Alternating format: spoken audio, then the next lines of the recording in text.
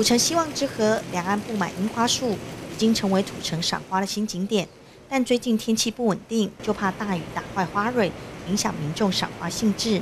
当地一手打造樱花的霍饶里里长许春腾说，有几棵樱花树提前绽放，而樱花赏花的日期是三月二十六号，当天搭配活动，邀请民众一起来。希望上天能够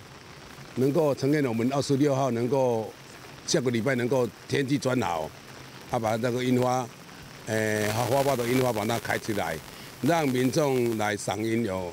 啊，看呃看到那个美丽的樱花。当初为了改变河流张望的面貌，里长带着志工一起种下樱花和杜鹃等多项绿色植物，逐年打造出属于希望之河的样貌。如今更让这里的赏樱季打出名号来，成为不可错过的赏樱景点。三月二十六号，我们新北市农业局跟我们公所、区公所、土城区公所分理办公室合办的一个樱花季。就是下午从下午三点到五点啊，好的天气就来这里赏樱哦，这里就不必跑多远了，就是海山捷运站三号出口对面就看得到的哦，也欢迎你们大家来哈，大家共享盛举。在市区赏樱也不用跑很远，土城希望之河的樱花一起来竞逐春天的姿色，河边整排的樱花杜鹃绽放，民众可得把握最后机会。中嘉新闻林立刘方刚土城报道。